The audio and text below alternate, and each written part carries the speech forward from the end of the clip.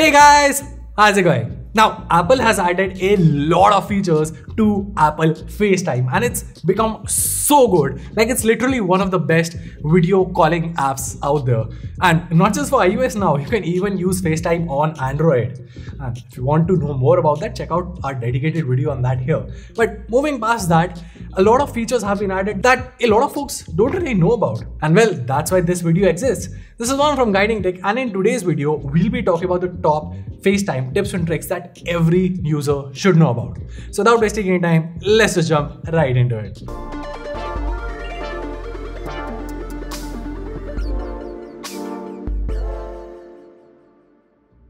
Alright, now picture this. You're sitting in your living room having to attend a FaceTime call, be it for work or with your family, but your room is super messy. Wouldn't it be great if you could just blur the background?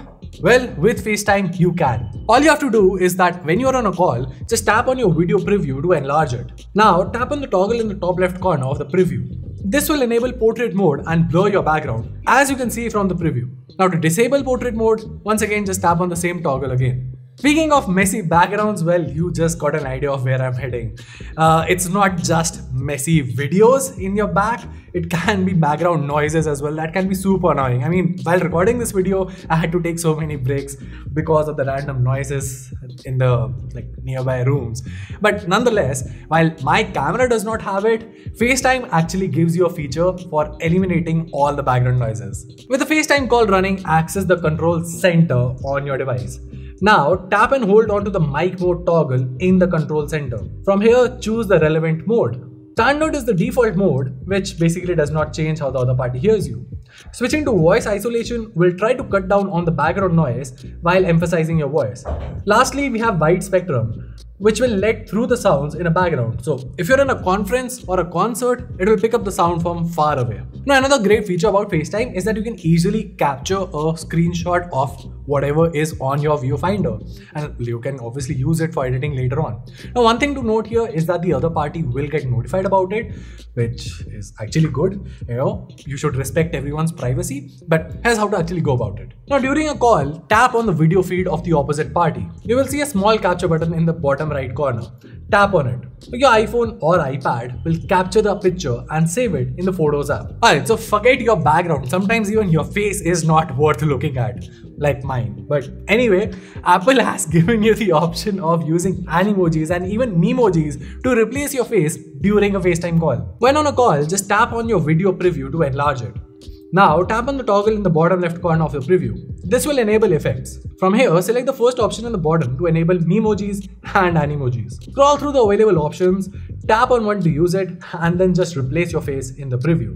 Speaking of changing the way you look, FaceTime also gives you the option of using filters to make yourself look, well, a bit more likable. To do that, when you're on a FaceTime call, just tap on your video preview to enlarge it.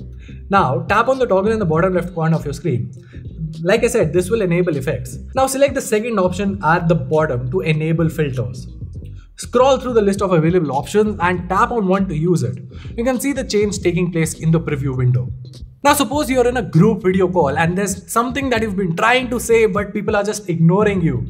Well, you can actually add a banner or a persistent text on your video frame for everyone to notice it immediately whenever they look at your footage. To do that, open your video preview and then tap on the toggle in the bottom left corner. Now select the third option at the bottom to add text. From here, you can choose from a wide array of available styles for your text. You can add a chat bubble, a banner, or even an emoji. Finally, enter the text that you want to add. And that's it. As long as your face is visible in the video, the text will float next to it. You can also drag and drop the text anywhere in the video to change its position. Last but definitely not the least, FaceTime also allows you to share your screen while on a video call. To do that, in the banner at the top of the call screen, just tap on the last option. From here, select the share my screen option that appears. And that's it. The contents of your screen will now be shared.